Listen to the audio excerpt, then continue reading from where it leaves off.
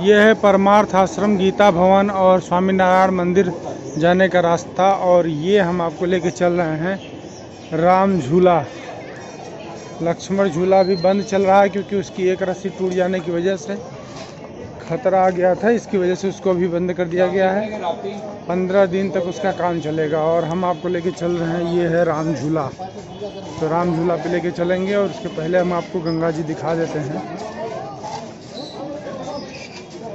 ये है गंगा जी। अपहरण वेब सीरीज़ की लगभग सारी शूटिंग हरिद्वार और ऋषिकेश में ही हुई है। और काफ़ी अच्छी वेब सीरीज़ है, काफ़ी सस्पेंस भरी वेब सीरीज़ है। ये है गंगा जी और ये है राम झूला और ये है उनकी रस्सियाँ। ये है राम झूला की रस्सियाँ। और काफ़ी मज़बूत रस्सियाँ हैं, इसे कह सकते हैं एल्यूमिनियम के मोटे मोटे तार हैं और राम झूला पे आज कम भीड़ है और गंगा जी में पानी भी बढ़ गया है। तो चलिए, चलते हैं राम झूला लेके। तो ये है राम झूला। ऊपर से कुछ इस तरह का नज़ारा है। गंगा जी इधर से यमुनोत्री से आती हैं पहाड़ों से और इधर की तरफ़ हरिद्वार से होते हुए कानपुर, पटना, इलाहाबाद, बनारस जाती है।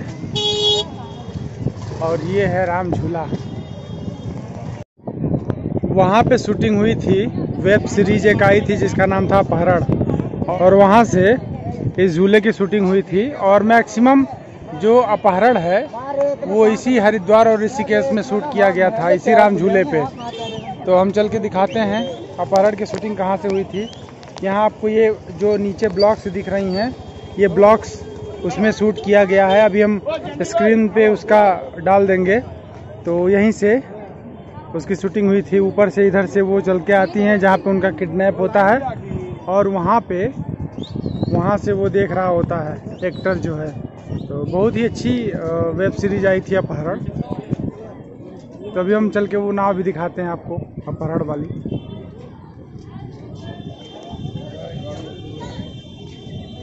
वो है राम झूला।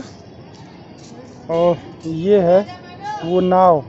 यहीं से वो बुला रहा था, वहाँ से वो जा रही थी उस पुल से, राम सेतु से।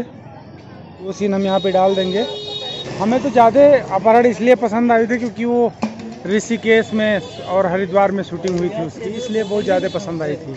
और ये राम झूला से होते हुए लोग आ रहे हैं। और ये रास्ता जाता है ट्रैकिंग के लिए। और रिवर राफ्टिंग के लिए। यहाँ से 15 किलोमीटर दूर आपको पहाड़ियों पे लेके जाएँगे। ऐसे लेके आते हैं।